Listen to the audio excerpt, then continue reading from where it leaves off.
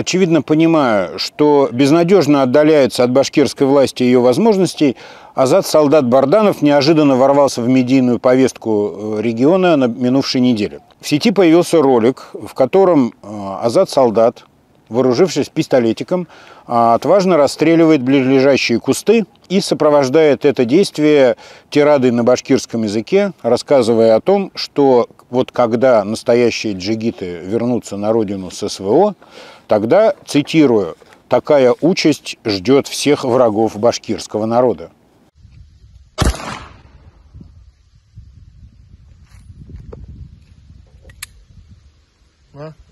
осылай айтып СОнан қайтқас сын башқұрт егіттері башқұрт халқының дұшмандарын шындай күтә Осталось неразъясненным, кто и по какому признаку будет назначать башкирскому народу врагов, и исходя из какого законодательного акта или норм законов Азат Солдат будет с ними расправляться. Но совершенно понятно, что э, отправленный заведовать э, складами гуманитарной помощи и продуктов э, Барданов серьезно, всерьез, по-настоящему беспокоится за то, чтобы его не списали окончательно здесь, в кулуарах башкирской власти. Несомненно и то, что самому Хабирову без Барданова здесь существенно комфортнее живется, и я думаю, что Ради Фаритович приложит все усилия для того, чтобы как можно дольше продержать э, Барданова на донецких складах и продержать его подальше от Белого дома республики.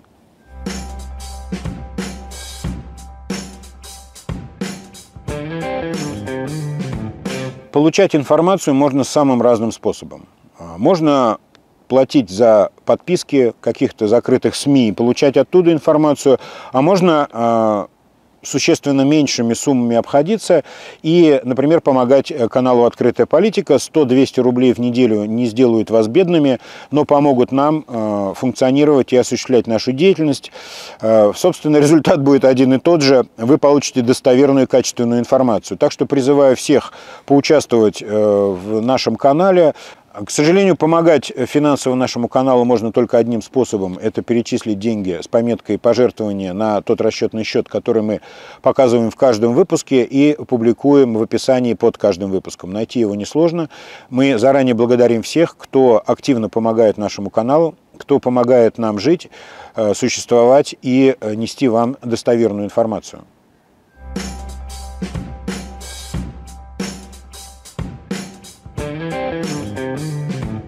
Последние недели суды Башкортостана вынесли несколько знаковых, э, очень важных решений. Э, были осуждены члены группировки Беляева-Кучербаева, э, чиновники, которые расхищали башкирский и федеральный бюджет. И была осуждена начальница штаба Навального Лилия Чанышева, признанная экстремисткой, а сам штаб признан экстремистской организацией. Так вот, эти приговоры э, как нельзя лучше иллюстрируют избирательность башкирского э, правосудия.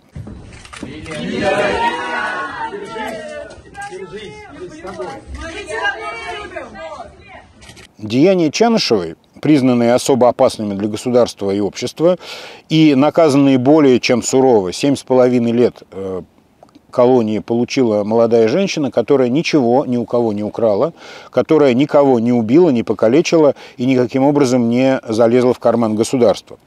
При этом чиновники, которые без зазрения совести расхищали сотни миллионов рублей, а, получили сроки меньшие а, меньшие сроки, более мягкие приговоры и, а, ну, собственно, можно не сомневаться, что они предпримут все усилия для того, чтобы снизить эти сроки в апелляциях и выйти по условно-досрочному освобождению у народа возникает логический вопрос. Ну кто же опаснее для общества?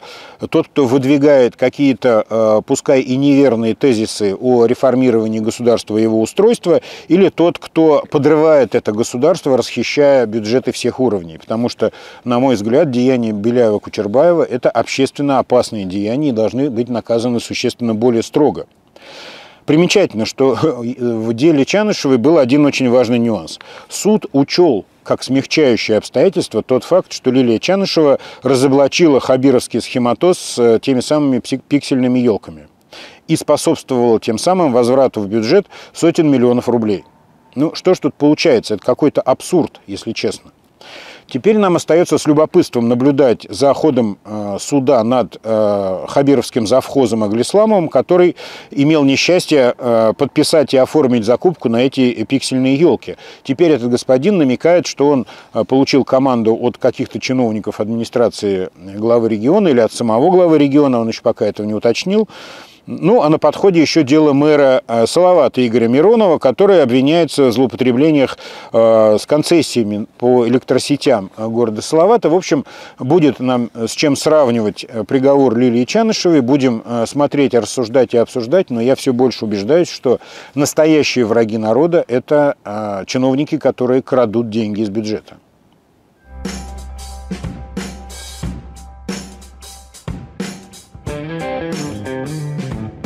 Тем временем другой Уфимский суд окончательно поставил точку в деле э, дома по улице Шатару ставили 5. Из опубликованного на днях решения суда становится понятно, почему суд категорически отказал истцам э, в их притязаниях и требованиях.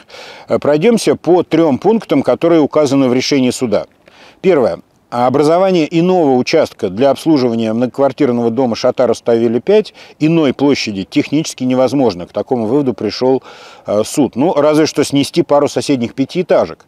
Э, ну, собственно, это, конечно, не предлагалось, но как-то подразумевалось вот этой группой Яковлевой. Э, второй пункт. Отсылка истцов к пункту 10 э, статьи 45 Градостроительного кодекса является ошибочным и безграмотной.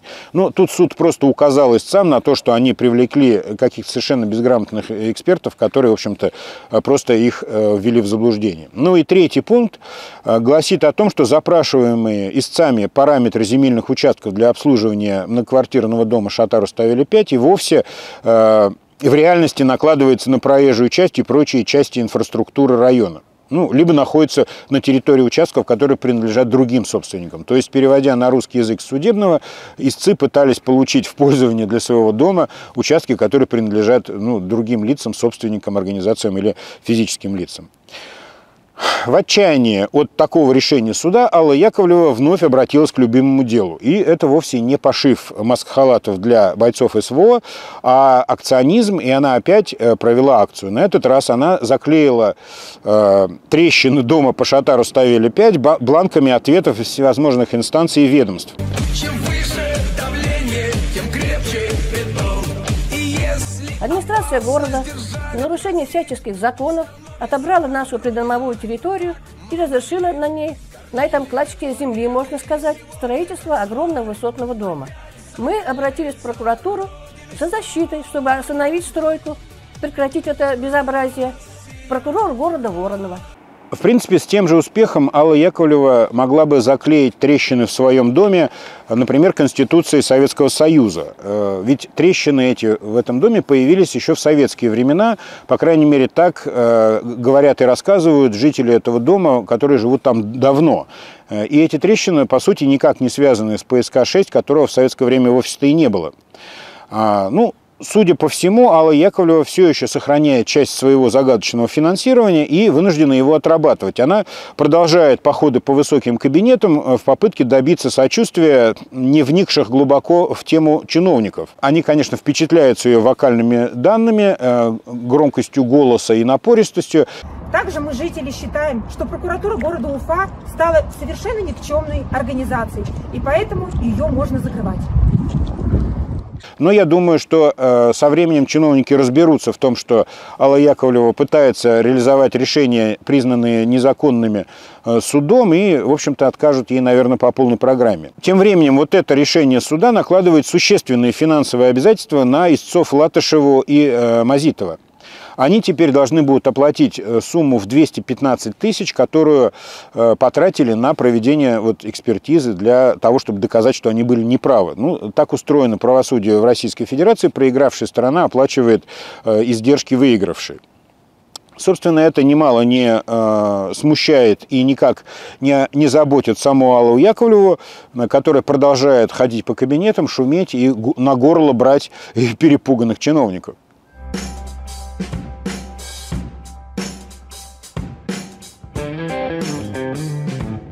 Последние недели нескончаемым потоком идут сообщения и жалобы на то, что непарный шелкопряд э, самым решительным образом уничтожает э, леса Республики Башкортостан.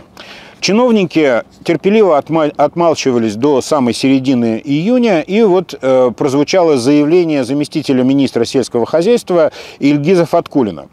Этот самый Ильгиз сообщил нам э, о том, что поедание лесов непарным шелкопрядом – это естественное э, явление, и, видимо, он считает, что оно даже еще и полезно. Ну, вот такой глубокомысленный вывод сделал заместитель министра. Также он сообщил, что явление это, по мнению э, Министерства сельского хозяйства, нечастое и происходит раз в 10-12 лет. Но тут позвольте возразить. Буквально в прошлом году и в позапрошлом году э, было примерно так же, с той разницей, что леса обрабатывались от этого непарного шелкопряда. Также господин Фаткулин сообщил, что сам шелкопряд не опасен, опасны его гусеницы. Ну, колоссальные познания в биологии. Э, однако господин Фаткулин, видимо, не в курсе, что э, когда проходит жизненный цикл непарного шелкопряда, если его не травить, он заново на будущий год возобновится, воссоздастся и народится еще в большем количестве. Ну, видимо, Фаткулин об этом не знает. А также господин Фаткулин сообщил, что обрабатывать леса все равно уже поздно, и делать это нужно было в мае. Но почему же до мая тогда Министерство сельского хозяйства хранило глубокое молчание? Попросту говоря, на самом деле, переводя с чиновничего на русский язык, в бюджете на это денег нет – и травить мы эту напасть не собираемся. Но вот ведь какая штука. На шелкопряда денег нет, предположим. Ну, предположим, все деньги ушли на СВО и гуманитарную помощь, и туда на склады Барданова. Но откуда деньги на оплату э, выступления, например, какого-то Дениса Майданова в городе Минске? Концерт этого загадочного Дениса Майданова был оплачен Башгосфилармонии на сумму 4 миллиона 800 тысяч рублей, и пройдет он почему-то в городе Минске. Вот на это нам денег не жалко. А еще Хабиров заявил, что несмотря на полный крах футбольного клуба Уфа, он, Хабиров, сохранит государственное финансирование клуба. И очередные десятки миллионов рублей уплывут опять куда-то туда под э, зеленый газон башкирского футбола. А еще, несмотря на то, что шелкопряд не травится, в бюджете много-много миллионов э, на, поса... Э, на поездку десятков э, чиновников на Питерский международный экономический форум. Стало известно, что, оказывается, посещение этого форума, оно платное. 1 миллион 278 тысяч рублей стоит каждый билет для каждого э, члена э, делегации, причем это без участия в пленарном заседании, без э, перелета, без кормежки, без проживания. Вот давайте посмотрим, если человек 20, 30, 40 полетело туда, на этот МЭФ, ну вот суммы вот такие получаются. А на шелкопряд, повторюсь, денег нет. Ну, воистину непостижимые и загадочные э, коллизии башкирского бюджета, нам остается их только наблюдать. Количество подписчиков нашего канала вплотную приблизилось к цифре в 38 тысяч, э, но не так много людей участвуют в жизни канала деятельно, потому я в очередной раз призываю вас ставить лайки, комментировать, задавать вопросы. Это очень важно для продвижения канала, это совершенно бесплатно и абсолютно безопасно для вас и очень важно для нас.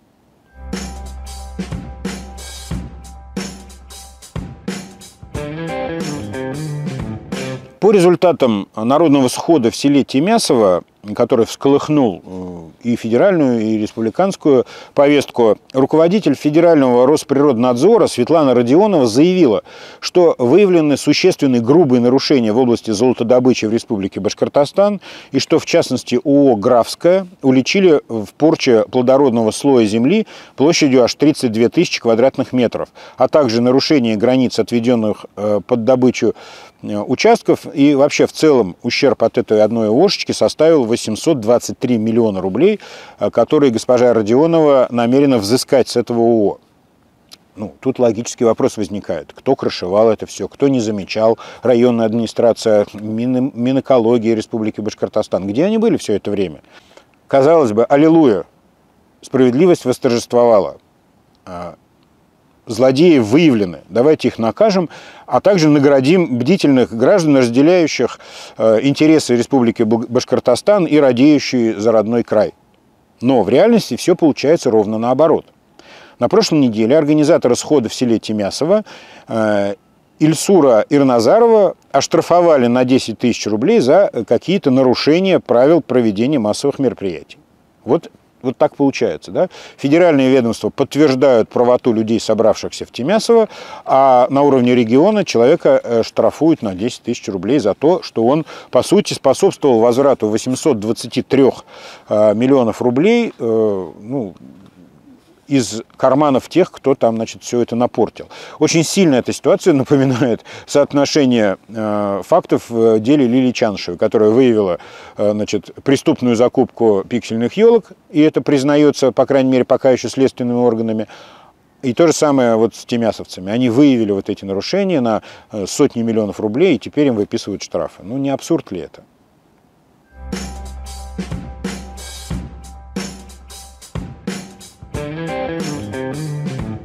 Вообще в области экологии и природоохраны в Республике Башкортостан творится что-то странное, мягко говоря, если не страшное. На минувшей неделе неизвестные крепкие парни воспрепятствовали попаданию сотрудников мусорного оператора э, Дюртюли Мелиоводстрой на территорию арендуемого э, полигона, который принадлежит э, компании Табигат.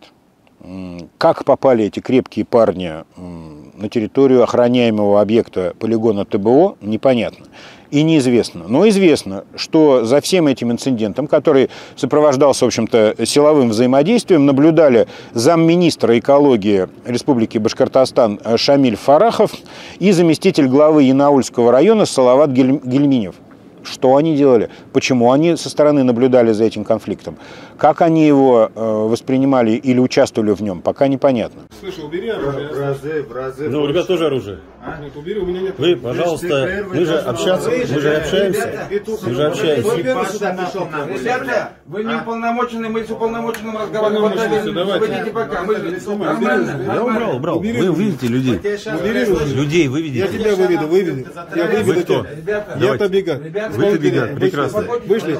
Все, давай, пошли. Нет, я ниоткуда не никуда не выйду. Ты меня стрелять, что ли? Я не выйду, сказал. Пошли, все, идем. Я не выйду. Я тебе говорю, что нахуй. Иди сюда. Давай выводимся, давай. Давай, сейчас выводимся. Похожая ситуация в те же дни случилась и на полигоне ТБО в городе Агидель. Ради Хабиров, не нашедший общего интереса с оператором Дюртюли Мелиоводстрой, ведет с ними непримиримую войну аж с 2019 года. Ну, правда, успеха в этой войне пока не было. И похоже, что Хабиров теперь э, переходит к решительным действиям и готов э, ради своей, непонятно зачем, необходимой победы, готов э, утопить в мусоре э, пару-тройку районов Республики Башкортостан, невзирая ни на какие последствия. Ну вот пошел на принцип человек и выдавливает этот дертюли вот строй, хороший он или плохой, но этот, этот оператор занимается своей деятельностью на законных основаниях. А вот эти крепкие парни, которые э, закрыли собой мусорный полигон, это, конечно, что-то такое из 90-х.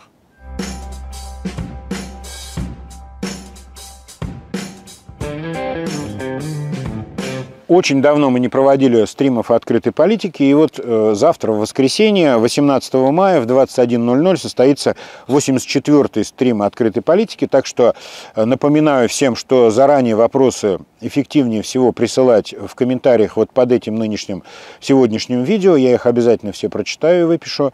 Э, также Призываю всех завтра выйти в прямой эфир, подключиться, послушать, э, позадавать вопросы в чате. Я постараюсь на них на все ответить. Давно не виделись, давайте собираться, давайте ставить рекорды.